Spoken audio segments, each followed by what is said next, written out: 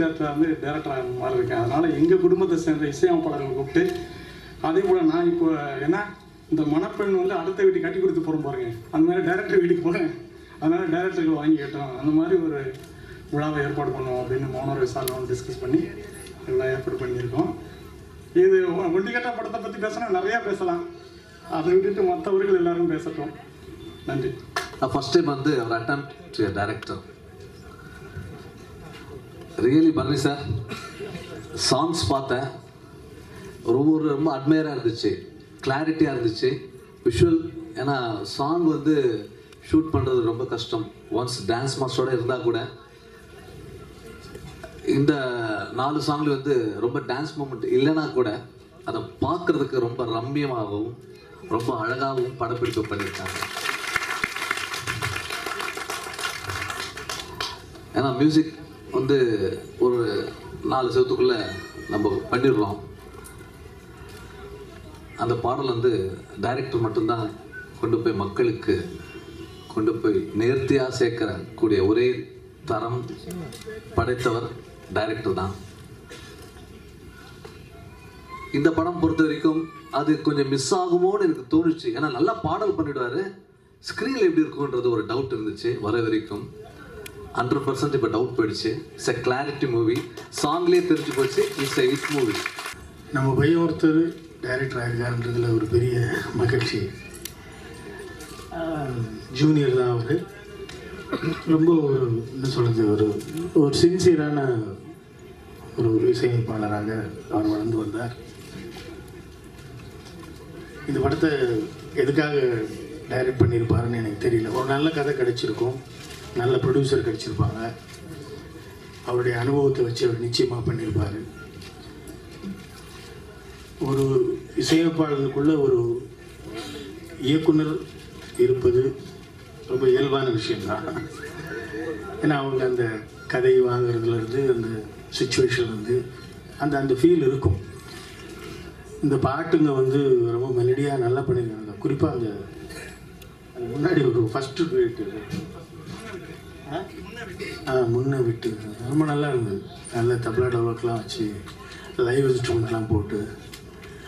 பாட்டு எப்படி ப்ரெசென்ட் பண்ணுறது தான். தெர் இஸ் நோ ட்ரெண்டு இது எந்த காலத்திலும் ட்ரெண்டுன்றதே ஒன்று கிடையவே கிடையாது. ஒரு முட்டாள்தனமாக நம்மளே எந்த காலத்துலையுமே கிடையாது. ரொம்ப ஒரு ஒரு என்ன சொல்கிற ஒரு வேகம் ரொம்ப மாயா இப்படி தான் போகணும் பொழுது டொக்கு டொக்குன்னு அடிச்சுக்கிட்டே போகணும் பொழுது அது ஒரு மாதிரி இந்த கொட்டு மேளம் மாதிரி எல்லாத்துக்கும் ஒரே பீட்டு எல்லாத்துக்கும் ஒரே பாட்டு. ரொம்ப பெரிய கெட்ட வார்த்தை யூஸ் பண்ணக்கூடாது. ரொம்ப பெரிய ஒரு என்ன சொல்கிறது ஒரு குப்பையாக நிறைய நான் சொல்லலாம். எனக்கு அந்த சீனியாரிட்டி இருக்குது ஐ ஐ என்னால் எக்ஸ்பிரஸ் பண்ண முடியும். அப்படி இருக்கக்கூடாது பாருங்கள் எவ்வளோ நீட்டாக அவ்வளோ க்ளீனாக பண்ணு. அந்த அந்த எக்ஸ்ப்ரெஷன் என்ன அந்த மூடு என்ன அந்த சுச்சுவேஷன் என்ன அந்த அந்த படம் எதை எதை டிமாண்ட் பண்ணுது அதனுடைய லொக்கேஷன் என்ன அந்த கதாபாத்திரங்களுடைய வாழ்வியல் என்ன அந்த இயல் என்ன அந்த இயலுக்கு ஏற்றாப்புல தான் இசை அமைக்கணும். அப்படி இல்லாமல் அது எல்லா பாட்டையும் ஒரே மாதிரி கொண்டு போகிறதுன்றது ரொம்ப பெரிய கொடுமையான விஷயம். உண்மையே ரொம்ப ஆஃப்டர் லாங் டைம் ஒரு ரிலீஃபாக இருந்தது. பரணி ஒரு அவர் சொந்த படம் அப்படின்ட்டு கொஞ்சம் மெனக்கட்டு பாட்டெல்லாம் போட்டிருக்கிறாருன்னு நினைக்கிறேன். நல்லா இருக்குது அந்த மெலடி அந்த அந்த ஸ்கோரு அந்த பேக்ரவுண்ட் ஸ்கோரு சிம்பிளாக அவர் யூஸ் பண்ண அந்த ஆர்கஸ்ட்ரேஷன்ஸு சிம்பிளான படைப்பு ஒரு புதிய மு புது முகம் அந்த ரெண்டு பேருமே நல்ல கேப்பபிள் அதாவது அந்த நேட்டிவிட்டி இருக்கும். அந்த படத்துடைய வெற்றி அந்த கதையுடைய அமைப்பை பொறுத்தும். அங்கே உட்காந்து பார்த்துட்டு இருந்தேன்.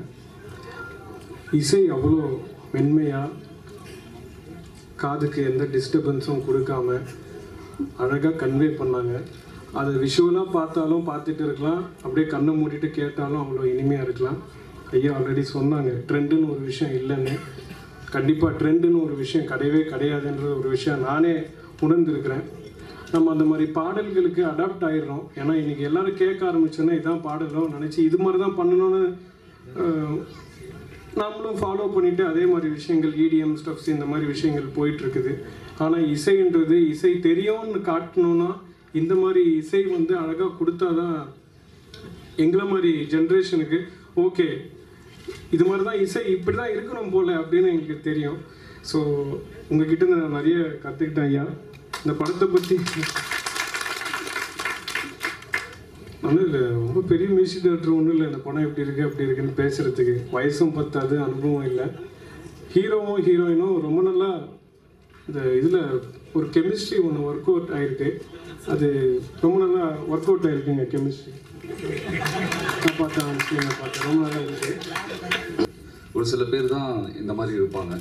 தன்னை தனக்கு எப்படி இருக்கணும் தெரியல மற்றவங்க நல்லா இருக்கணும்னு நினைக்கிற எனக்கு தெரிஞ்ச நண்பர்களில் ஜாக்கும் ஒன்று படம் இதெல்லாம் அப்புறம். முதல்ல ரொம்ப நல்லவன். கலகப்படம் இல்லாதவன். ஸோ அதுவே அவனை எடுத்துன்னு வேற இடத்துக்கு போயிடும். எப்படியாவது ஏதாவது ஒன்று பண்ணணும்னு என்னுடைய ரூம்மேட் நானும் ஜாக்கும் அப்பத்துலேருந்தே எ- எப்பவுமே கண்ணாடியில் நடிச்சுன்னு இருப்பான். ஏதாவது ஒன்று பண்ணினே இருப்பான். ஏதாவது போஸ்டர் நான் பாரியா அவங்க பாரியா அப்படின்னு அந்த போஸ்டரை காட்டுவோம் அவங்கெல்லாம் வந்துட்டாங்க. நான் வரல. அந்த ஒரு ஏக்கமும் அந்த இதுவும் அவனை துரத்தினே இருந்தது. நான் ஜாக்கிட்ட ஒரே விஷயம் தான் சொன்னேன். நீ சீக்கிரம் ஸ்டேஷன் போயிட்டடா உனக்கான வண்டி வந்தால் தான் அங்கே ஏற முடியும். ஆனால் உனக்கு வர வண்டி ரிசர்வ்டு அந்த உன் சீட்டு கன்ஃபார்ம்டாக வந்துன்னு இருக்கு. அந்த வண்டி வரப்போ நீ எழுதிடடா வெயிட் பண்ணுறான்னு சொன்னேன். இது வந்து கன்ஃபார்மாக வரும் நான் வெயிட் பண்ணுறா பார்த்துனேடுறா அப்படின்னு. நான் வால் பண்ணுறப்போ ஒரு சின்ன கேரக்டர் அதில் அந்த பண்ணேன். இப்போ ஸ்கெட்ச் பண்ணுறப்போ இது இருக்கு வாடான்றப்போ இல்லை ஒரு ப்ரொடியூசர் என்னை நம்பி படம் பண்ணுறாரு என்ன ஹீரோவை பண்ணுறது இப்போ நான் ஒரு இதில் ஒரு கேரக்டராக பண்ணால் எப்படின்னு தெரில டேரக்டர் எப்படி ஃபீல் பண்ணாலும் தெரில நீ நீ பண்ணுன்னு சொல்ல நான் வேணால் பண்ணுறேன் அப்படின்னா. ஸோ அது எனக்கு யோசிக்க வச்சுது. ஏன்னா அவன் வேறு எதாவது சொல்லியிருந்தா கூட பிரச்சனை இல்லை. தான் ப்ரொடியூசர் தான் டேரக்டர் ஸோ அவங்கள மதிக்க ஆரம்பிச்சிட்டான். ஸோ அங்கேயே வந்து அவன் ஜெயிச்சிட்டான். அவ்வளோதான் இந்த இன்னைக்கு இப்போ மெசேஜ் பண்ணேன் வந்துடும் இல்லை ஒரு நாலு எல்லாம் வரனாங்க சாரி சாரின்னு அனுப்புகிறாங்க அப்படின்னு சொல்லிட்டு. ஏன்னா நான் இந்த ஃபங்க்ஷனுக்கு வரலன்னா அப்புறம் அர்த்தமே இல்லை நான் அவன் கூட இருந்ததுக்கு. இங்கே வரப்போ நான் சாங் பார்க்கவே இல்லை. ஃபுல்லாக ரொம்ப க்ரௌடாக இருந்தது வெளியே இருந்தேன் அப்போ ஒரே ஒரு விஷயம் நினச்சேன் இதே மாதிரி ஃபர்ஸ்ட் டே ஷோ வந்து இருக்கணும்னு நான் ஆசைப்பட்றேன். கண்டிப்பாக இருக்கும் அதுக்கான ஒழிப்பு எல்லாமே அவங்ககிட்ட இருக்கு. நான் சண்டை போட்டு வெக்க மானம் ஒன்றும் இல்லாமல் பல தடவை பரணி சாரை விரட்டி விரட்டி விரட்டி கெட்ட கெட்ட கனவா வருதே பாட்டை வாங்கினேன். இது ஏன் சொல்கிறேன்னா அவர் என்னுடைய திறமையில நம்பிக்கை நிறைய இருக்குது அதே மாதிரி அவருடைய பாடல் முதல் படத்திலிருந்து நான் பண்ணிக்கிட்டு இருக்கேன். நிறைய பாடல்கள் அவருடைய என்னுடைய கோரியோகிராஃபி நான் பண்ணியிருக்கேன். அவருடைய பாடல்கள் அத்தனையும் அற்புதம். ஒரு மன்மதராசா இல்லைன்னா இன்னைக்கு சிவசங்கர் இல்லை. காதல காதல இல்லைன்னா ஒரு சிவசங்கர் இல்லை. ஸோ என்னுடைய இறைவனுடைய நான் பண்ண கோரியோகிராஃபிக்கெல்லாம் முதுகு பலம் மாதிரி மியூசிக் டைரக்டர்ஸுடைய மியூசிக்கும் எனக்கு ஊக்கமளித்த அத்தனை நிருபர்களுக்கும் அத்தனை டைரக்டர்களுக்கும் இந்த சமயத்தில் நன்றி சொல்லிக்கிறேன். இந்த படத்தில் நடித்ததுக்கு வந்து டைரக்டர் சாருக்கும் ப்ரொடியூசர் சாருக்கும் எல்லாருக்கும் ஒரு பெரிய நன்றி. ஒரு நல்ல வாய்ப்பு கொடுத்துருக்காங்க. ரொம்ப சந்தோஷம். ஜாக்கு அடிக்கடி என்கிட்ட சொல்லிகிட்டே இருப்பான். டேய் நான் சிங்கம்புலி வில்லன்டான்னு சொல்லிகிட்டே இருப்பான். நான் சொல்லுவேன் டேய் நான் ரௌத்ரம் வில்லன்டா அப்படின்னு சொல்லிட்டு இருப்பேன். ஏன்னா நாங்கள் ரெண்டு பேரும் தான் அடிக்கடி போய் எல்லா கம்பெனியும் போய் வாய்ப்பெல்லாம் கேட்பானோ. ஏ நீங்கள் இப்போ நீங்கள் என்ன என்னையெல்லாம் பார்த்து கேட்பாங்க? அப்போ நீங்கள் தான் சிங்கம்புலி இல்லை நான் இல்லைங்க நான் வந்து ரவுத்ரா அவன் வந்து சிங்கம்புலி இந்த மாதிரி ஏன்னா நல்ல க்ளோஸ் ஃப்ரெண்டு நல்ல மனிதன். அதனால வந்து கஷ்டப்பட்டு முன்னேறி இருக்காப்ல ஹீரோ ஆயிட்டாப்ல ரொம்ப சந்தோஷமா இருக்கு. வாழ்த்துக்கள். பர்னி சருக்கு தான் தேங்க்ஸ் சொல்லணும். பிகாஸ் சார் uh, வந்து அவ்வளோ ஒரு எப்படி சொல்றது எனக்கு தெரியாது. பிகாஸ் um, ரொம்ப ஒரு ஷார்ட்டும் எல்லாமே ரொம்ப நல்லா நரேட் பண்ணி கொடுப்பாரு. And even I'm so thankful to him for making me a part of this movie I'm so blessed and அதுக்கப்புறம் I have to thank Vikram Jagadish Jack is a wonderful costar to work with and uh, producer sir Dharmarajan sir sir kuda I uh, acted so it was a great experience working with him also சிங்கமொழின்னு ஒரு படத்தில் sir தான் அறிமுகப்படுத்தினாரு அப்புறம் விஜய் அண்ணன் கூட வேட்டைக்காரன் சொல்லிட்டு Vijay sir கூட விஜய் ஃப்ரெண்டாக பண்ணேன் அப்புறம் கவுண்டமணி அண்ணன் கூட எனக்கு வேறு கிளைகள் கிடையாது அந்த படம் அப்புறம் குரங்கு கையில் போகணும்னு சொல்லிட்டு ஒரு ஆன்டி ஹீரோ பண்ணேன் இப்படி பத்து வருஷத்தில் பத்து படத்துக்கு நான் நடிச்சிருக்கேன். அப்புறம் பரணி சார் வந்து ஒரு அஞ்சு வருஷத்துக்கு முன்னாடி பழக்கம். ஒரு நான் ஒரு படம் பண்ணுறதுக்காக எல்லாம் ஒரு மீட்டிங் ஒன்று போட்டிருந்தோம். அப்போ நான் அந்த படம் பண்ணல. அப்போ சொன்னார் நீ கவலைப்படாதப்பா. கண்டிப்பாக நான் வச்சு உன்னை ஹீரோ எடுக்கிறேன் என்ன இவரு இவர் டேரக்ட் பண்ண போகிறாரா அப்படின்ற ஒரு சந்தேகம். இப்போ அப்பப்போ பேசுவார். பேசுவோம். ஒரு நாள் ஒரு ஆடிஷனுக்கு போய் பண்ணிட்டு வாப்பா அப்படின்னாரு. போய் பண்ணேன் நிறைய பசங்க வந்து பண்ணாங்க. அதில் வாய்ப்பு கொடுத்தாரு. வாய்ப்பு கொடுக்கல. வாழ்க்கை கொடுத்துருக்காரு.